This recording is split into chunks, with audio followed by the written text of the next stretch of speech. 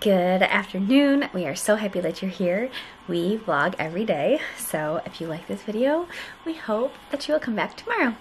Um, James is napping, Peter is working, I am editing. Um, we've had a good Monday so far. We are playing a little bit of catch up, kind of like really switched gears after deciding not to go to Florida um, just this weekend. And so I am ready to like make the most fun out of like the winter and the spring. And so I know I've asked for winter suggestions before, but I'd also like to hear if you guys want to see anything specific in Chicago. But I'm getting that situated today too. Just like a list of things that we want to do and just like being intentional. So we're motivated, we're feeling good. Do not be fooled. We are very sad about not going. Like, very sad. And can't stop bringing it up. Um, but you know us, we're gonna make the most of it.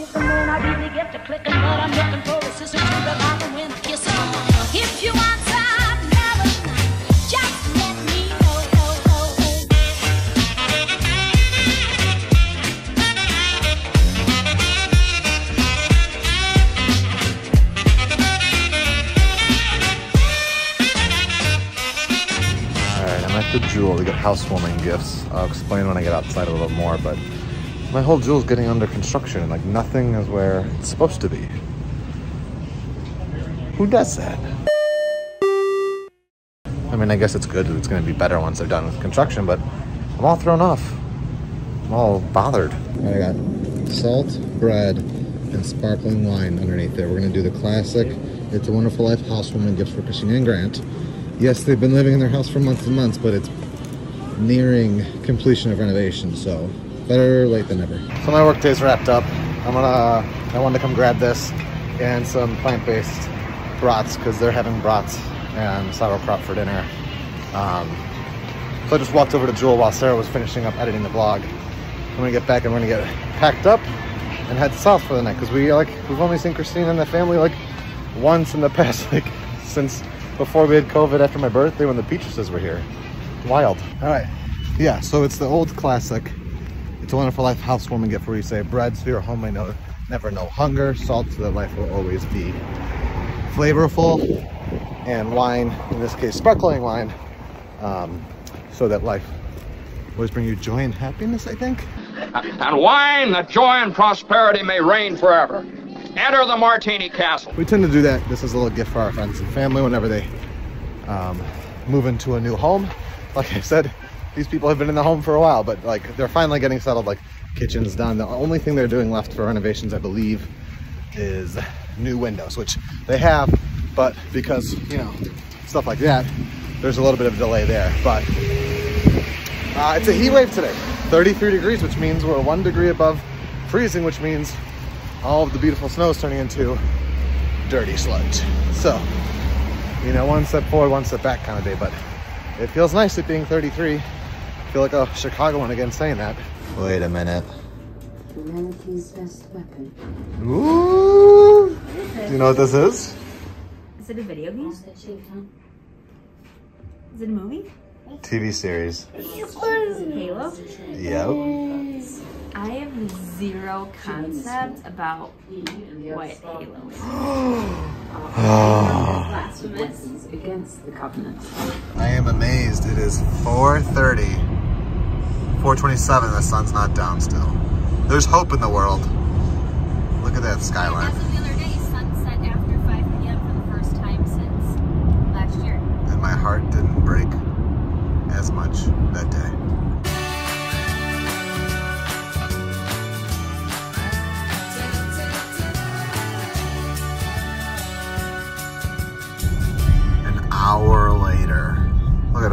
12. The sun was up, sun's down. Almost. Almost. But over an hour later, we're finally in Evergreen Park.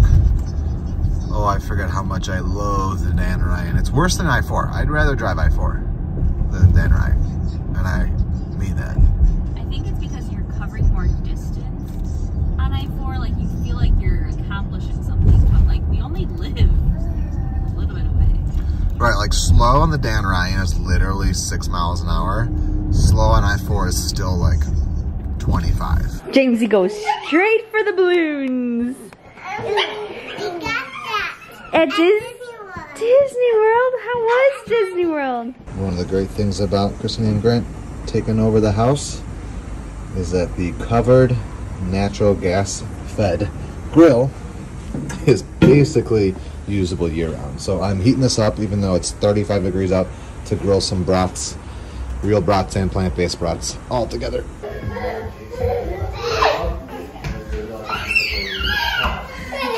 James is getting Luca. Here we go. Grill's at like 500 degrees. can see my breath. Got a cup of coffee, and an espresso pod. So the bigger ones with the darker color are the Beyond sausage, I guess, brats, and then the four on the outer that are lighter are like genuine Bavarian brats. So we're gonna get these going. They're pretty much the same cooking time for both. Christina is making some sauerkraut on the inside. Um, she, she, the whole reason why we're doing this is because she didn't get one in Epcot at World Showcase, and so she was like, you know, that's what we're doing tonight. I'm making it at home because I didn't get it when we were in Florida because they just got back yesterday from their Disney World trip. Um, so, time to grill it up. The real ones, I gotta do this quick because it's 35 degrees out, so this is gonna start dropping heat. These are the thawed Beyond sausage. Brats. Give them a couple more minutes, we'll give them a turn. Look at that, dropped 150 degrees in just a little bit. But I mean, that's not, that's not too crazy. Um, I just love, so the gas line comes from the wall and it comes from the house here. Powers this and powers the garage heater. Greatest thing, Sarah's uh, dad, uncles, and grandfather did to this house, I think. Note to self, you don't have to cook the plant-based ones as long as they're real thing. did you have a good dinner? You ate like half your body weight. Pumbaa's back too. Good idea, Tracy. Let's see if the security cameras James is teething, his last couple teeth, so he's chewing on a car. James discovered Violet's room. And I forgot that like the door is here, so I could close the door and keep Pumbaa away. Yeah. Those are a little tiny for you to be playing with. Do you want to play with the Barbies? You know the dolls in the box? Oh, you're a big kid.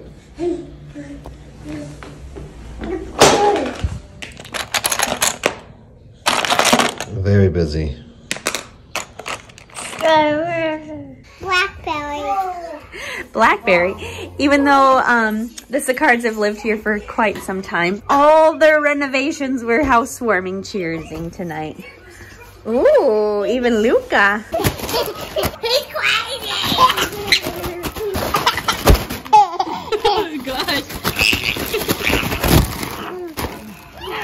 Careful not to punch him in the head.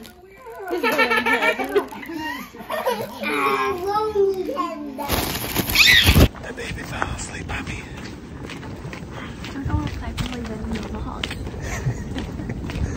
We're gonna try to get James in the crib. Still asleep. Evie's happy well. There's nothing like an Evie greeting. Magic mail. Oh my goodness. I don't think we've mentioned this. We have not. So, not sure if a lot of you know this, but many people who go through um, fertility treatments, their insurance might not cover it. Evie, are you okay? Um, and so a lot of people like crowdfund or just do different fundraisers for themselves. Um, and Peter found this grow through what you go through from Kelsie's life. She also has a YouTube channel. Um. Yeah. And um, it's a really cute design. And he got this nice sweatshirt. And also a coffee mug. And what's cool is like something like this quote can be for anything, like not just somebody who is going through fertility treatments or, you know, anything of that sort. So then it's really cool for the person like who is doing the fun, like the, the fundraising that a lot of the times the shirts like have to do with like IVF or IUI like specific things or like quotes about that. Like I know somebody that we follow that we have a sweatshirt from. Like I got my Angel Mama stuff from, and like that's like specific to like other infertility warriors buying it. But it's cool then. Like this is a little bit more like like other people who still like want to support these people mm-hmm. can proudly wear these designs that like can are kind of a little bit more anyone can Yeah. can relate. And I actually saw this on Instagram. I usually don't go on the It's a Baby Workout Project um, Instagram. I feel like that was, you know, an outlet for Sarah at first. And then after we lost Sweet Pea, like, I really didn't want to ever go on that Instagram because we there is a lot of like sad and tragic stories and supportive stories too. Um, but one of the days that I was actually looking through it, I saw this Instagram, this, sh- this shop's account doing like a paired giveaway, but it was this design, but in like a like the tin mug version, Enamel. enamel mug, which I like would have preferred, but she's not selling like that, so this is just as good. Um, but I took a screenshot of it because I was like, I like that. I want to buy that, but I wasn't okay then. And like, if you've been watching us for a while, like you knew we've opened up more about like our emotional struggles, my emotional struggles during that time after losing Sweet Pea. Um, and my phone on the on my my iPhone has like the little photos widget, which will like randomly bring up old photos from your iCloud account, or whatever. And I was oh, I forgot what photo it was, but it popped up like five days ago, and I went to go look at it, and I I just got to scrolling through photos of like that same time, and it was like the time of us losing Sweet Pea, and I could just like tell from the videos and photos that they're like on my face, like I was like, oh, that was my, that was like the dark, dark time. And I was scrolling, continuing scrolling, looking through photos of what we were doing and whatnot. And that screenshot I took of this design popped up, and I was like, I wonder if that girl still has that shop. And she has actually since had a successful transfer and her baby was born at the end of last year. So she has um her little one in her arms. And so that's like it's interesting, yeah, to think of like where she was at that moment and just like how much time and like you never truly know like how Things are gonna work out. things will work out, when they'll work out, how they'll work out. Um, so thanks for getting these because I'm going to use them both too.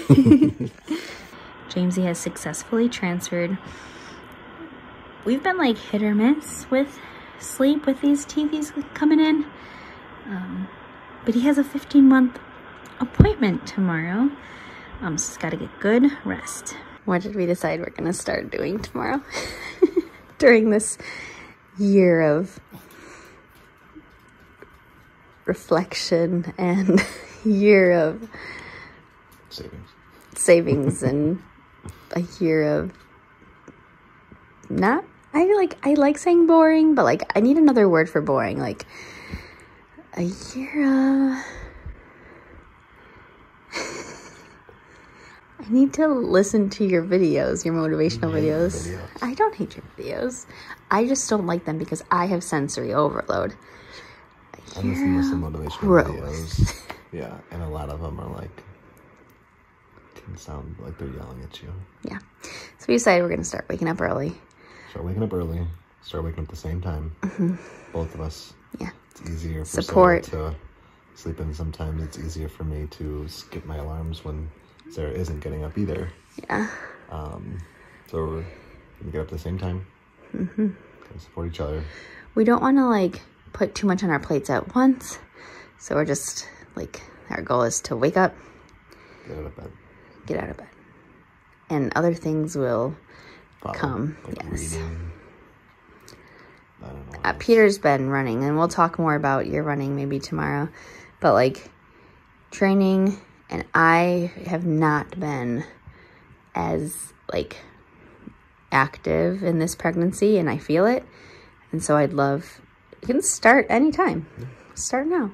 I didn't even, did I show you my cute braids today? You didn't even say anything I Didn't say they're gorgeous.